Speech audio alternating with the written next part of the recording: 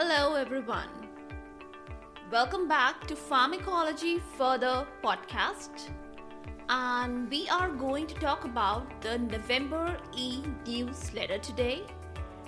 As you all know, as far as talking about pharmacology further is concerned, it's a step further pharmacology. A very warm welcome to all the interested, curious, and thoughtful people who like medical sciences as the main course, nutritive salads and sides, and literature and fiction as desserts drizzled upon with spices of creativity at the same time. So, we have the November e newsletter now. Talking about the November e newsletter, first and foremost, we are coming over to the section Is Pharmacology Difficult? Here we're going to talk about the November FDA approved drugs the first on my list is Vonoprazan and the brand name is Voquezna. It was approved on November 1st, 2023 for the treatment of erosive esophagitis. Talking about the mechanism, it's a potassium competitive acid blocker that is capital P dash capital C A B, which stands for potassium competitive acid blocker. And the route of drug administration of vonoprazan is it is administered as tablets. That is the oral route. Talking about the next drug on my list that is fruquintinib. And the brand name is bimzelx. It was approved on november 8 2023 for the treatment of colorectal cancer as far as the mechanism is concerned, it is a selective and potent oral inhibitor of capital VEGFR1, capital VEGFR2, and capital VEGFR3 receptor. The route of drug administration is oral and it is given as capsules. Talking about the next drug on my list is the drug is tirzepatide and the brand name is Zepbound.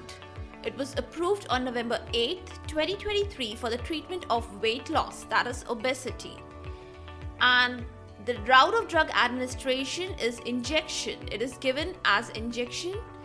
As far as the mechanism is concerned, it is a glucose dependent insulinotropic polypeptide and this is abbreviated as capital GIP that is glucose dependent insulinotropic polypeptide receptor and glucagon like peptide that is GLP 1 receptor agonist. Remember, it is GIP receptor and GLP 1 receptor agonist.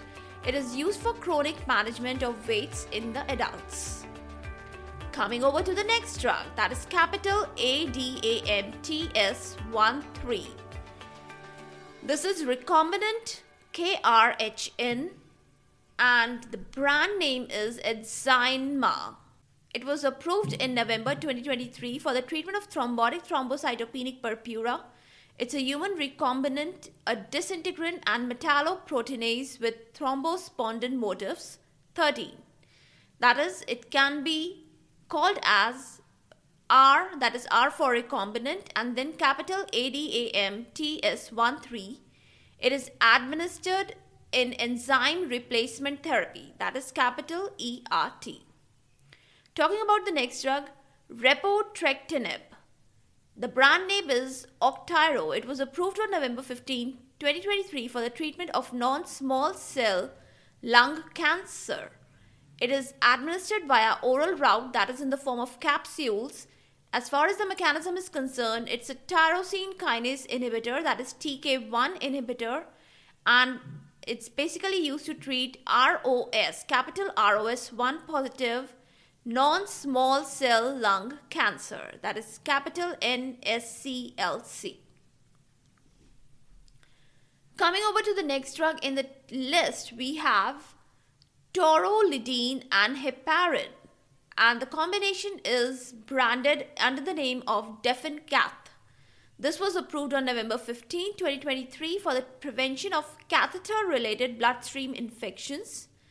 The catheter lock solution is basically a thiadiazine antimicrobial anticoagulant combination and this is administered in patients which are suffering from renal failure, or who are on hemodialysis and it is given via the central venous catheter that is capital CVC.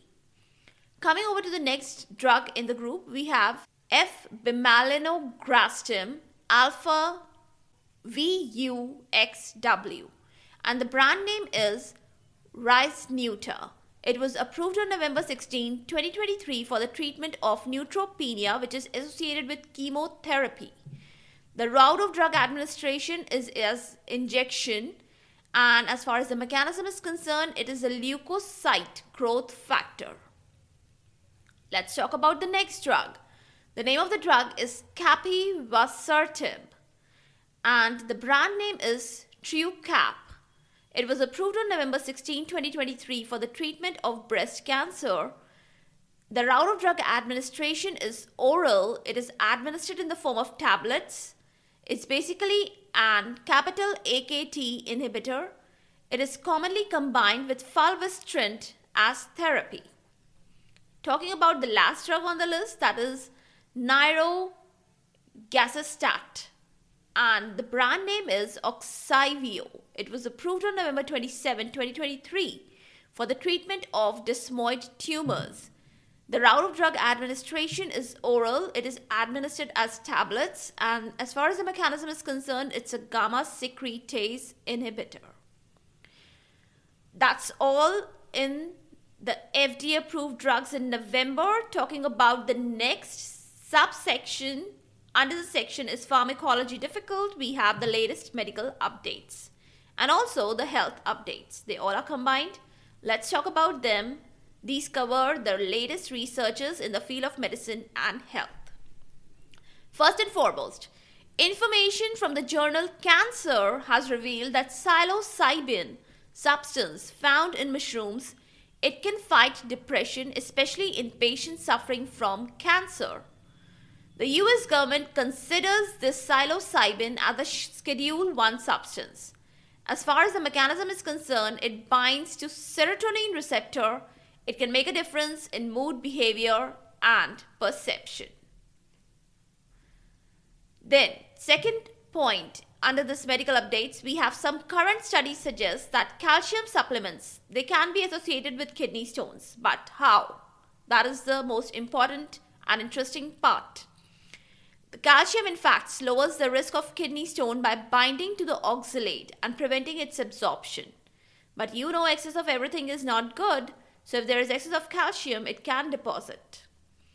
Next point some recent researchers suggest that ibogaine, derived from the iboga plant in the Central Africa, it is labeled a Schedule 1 drug, but it may be a good choice to treat the opioid drug addiction disorder. Next point.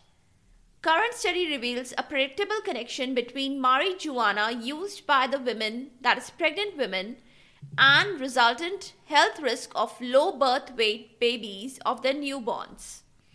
It would be very good to avoid the cannabis during the pregnancy to avoid the low birth weight of their newborns.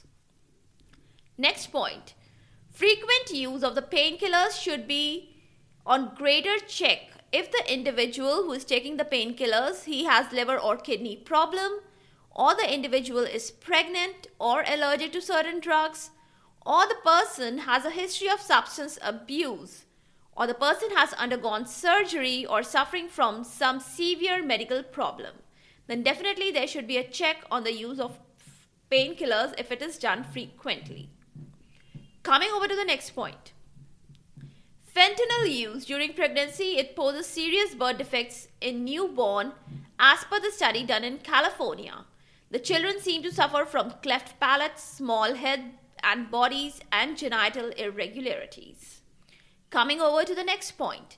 Latest research reveals that tinnitus may be linked to phantom limb syndrome and patients with tinnitus already they are suspected to have underlying hearing loss. That's a great discovery. Coming over to the next point. The solid reasons for the ban of the mustard oil in US and Europe regions they are basically they are composed of components like erucic acid and glucosinolates which impart strong flavor to the mustard oil. Now, this erucic acid and glucosinolates, it may actually pose cardiac health problems in experimental animals like mice. Erucic acid is more prominent in causing this risk, and due to its high concentration in the mustard oil, FDA has basically approved the non consumption of the mustard oil in both US and Europe for the food. Coming over to our last point under the medical research, updates, etc., we have women rely on the hormonal therapy during menopause. Everybody knows that. So, plain hormonal therapy may pose risk of blood clots. And if the statins they are added to the hormonal therapy, it may curb the risk of thromboembolisms as suggested by the research in the Texas University. Now, talking about all these medical updates and health updates and researchers, I would l- like to tell everyone that the basic source of all these updates is simply internet and the reliable websites and health research news and I would like to say that I have picked up the most important ones which I think should be included in this newsletter. Coming over to the next section in Is Pharmacology Difficult? We have From My Classroom. Well, well, well, here I'll be sharing some insights of pharmacology learnings from the classes that I have taken this month and the topics that I have read all about in my subject. So, we're going to talk about anti cancer agents. They were the recent topic of my study in the class taken. I will be briefing some general points and don't, please don't expect the details or anything about the classification or individual drugs. No, nothing like that but I will be briefing some general points about the anti cancer agents, which would be of great interest and information to you all. First and foremost, the anti cancer agent, these drugs, they are aimed to cure by two strategies by either killing the cancer cells or by arresting the growth. Second point, being less selective, these drugs, they are very toxic. Third point, three aims of the anti-cancer drugs. They are as follows. First complete cure or long-term remission. Secondly palliation or shrinkage of the tumor. Third they are used as adjuvant drugs in the chemotherapy. Next point. Toxicity of the anti-cancer agents they may be many-fold yes like bone marrow depression the most common one. Then low immunity resultant opportunistic infections then we have oral mucosa damage, gut and skin and gonadal damage, secondary cancers, and hyperuricemia. So, if you have the knowledge of all these things, accordingly, you should employ these drugs. Next, targeted drugs. In the anti cancer agents, they are a group of targeted drugs. They are aimed to attack the selective cells. They are being specially developed and designed in two ways. The first one are the specific monoclonal antibodies, and the second one we have synthetic small molecular compounds. Next, general point regarding the entire cancer therapy, the drugs should be used in maximum tolerated dose, that is capital MTD, and they should aim for complete remission. Next, we have combination of drugs, they yield better results than single drug therapies. Next, we have Cell cycle specific drugs should be used in short time periods or intervals to allow non-cell cycle specific drugs to enter in between the short courses and show their effect. Next important point associated toxicity of the drugs should be taken utmost care of and antidotes etc should be additionally used with the main drug therapy some of the examples are folinic acid mesna acetylcysteine, ondansetron, amifostine, biological agents, etc.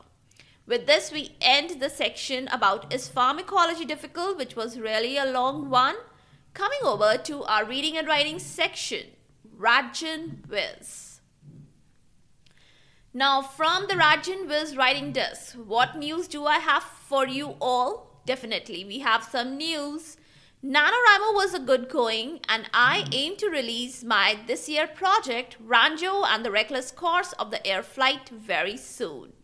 Yes, this story is done in a Japanese setting. Well, I've revealed one of the secrets of my book, so you can all expect a lot of Japanese settings in the book. Well, I'm not going to tell more of it, but yes, this thing I really wanted to tell because that's what I've researched and worked upon. Next, it's a great adventure book. Yes, if you like Wisdom and the Valley of the Dwarfs, you'll love this one too. And kids gonna love this another wonderful piece of writing from my desk. It's coming up very soon. Coming over to the next section simple and sparkling. So, today it's a time to know cinnamon. Have you noticed these woody like sticks in your kitchen, or maybe you simply buy prepared cinnamon powder?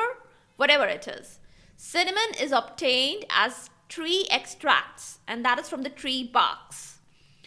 It is basically a spice and it's also a medicine.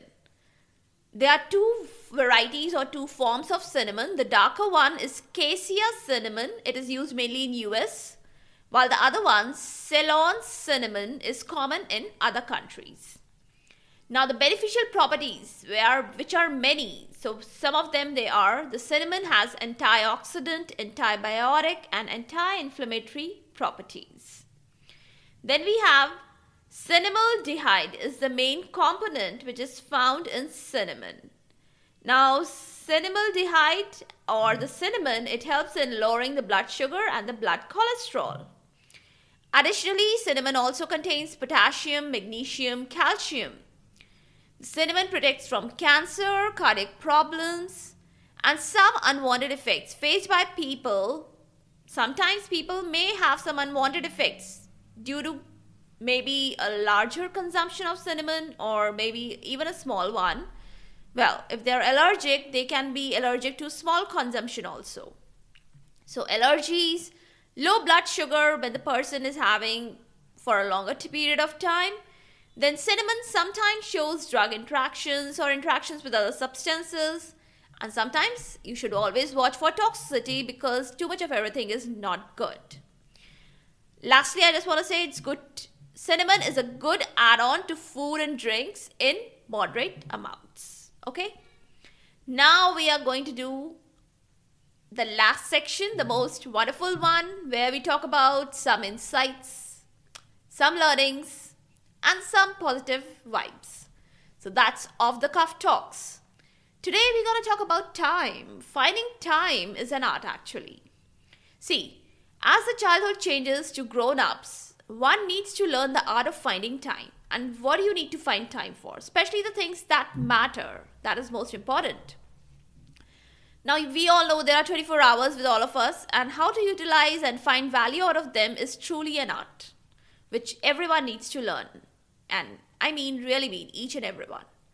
So, the first point I want to tell about that cleanliness is the key. Now, what do I mean by that? And why am I talking about it? Because I mean that clean setup and clean surroundings of work. Why are they how they are related to time? Because they tend to help to get clarif- clarity of vision and ideas. Next, I want to talk about organization, is the next step. The right things at the right place while putting the rest into waste is an adorable and smart way to make things haste. I repeat, right things at the right place while putting the rest into the waste is an adorable and smart way to make things haste. Wow, that really rhymed well. Coming over to our next point sorting out tasks, especially home and work related, is smart idea to get things done quickly and in the time. You know, you should be very clear, like which kind of task we have to do at what time. We cannot mix all kind of tasks together, right? Next, focus. Focus and the presence of mind. They help to save time while doing a task. Time is wasted as one loses focus and mingles in unrelated, unwanted, rubbish tasks, getting deflected from the main task. That is for sure, and everybody has experienced this thing. Coming over to the next point time management tools, apps, gadgets, they all help to make and keep one on the track and keep one on the checks also. You can check yourself with the help of time management tools, apps, and gadgets. Then the next point setting goals and deadlines can not only save time but increase and enhance one's performance and productivity also. So, if you set up your goals, your time deadlines, you can actually combine all these attributes together and work specifically, hastily, and focusedly. Next important point planning and prioritizing. It keeps one ahead of the time. It saves time, it makes smart use of time, and adds more time in your spare or leisure time. See, there is one work time, there is one leisure time. If you are planning and prioritizing things, you can put more hours in your leisure time and you can quickly do your or finish over with your work time. Next important tip is to find your best working hours. Well, you can be best working in morning or afternoon or evening and then put your most important task in that particular time to achieve the best results. Suppose that's again related to prioritizing and planning. You know what is your most important task, then you put in your best time and then you get the best results. Next, you have to stay disciplined, consistent, and you have to stick to the routine. That comes by practice and really long term practice. Lastly, I just want to say that one should take breaks, learn to enjoy the leisure time, but don't waste it either. Now, what do I mean by that? See, leisure time means it doesn't mean wasting time. Leisure time is to give yourself a break, to do something which really gives you pleasure and that makes you relaxed. You can sleep also in that time. Sleeping is not wasting time but it is giving a relaxation to body and mind. So, lastly, ending a note is there is time for everything. With this note, the time to end the November talk here. The final full stop is soon to arrive. Year end, that is December issue, is also soon to arrive, and then, then after that, the New saga begins. Yes. After the upcoming December issue, we will end up the story of 2023 and the new year saga gonna begin it gonna be the era of 2024 so have a great and valuable time. Always see you all soon. Thank you. Take care. Bye bye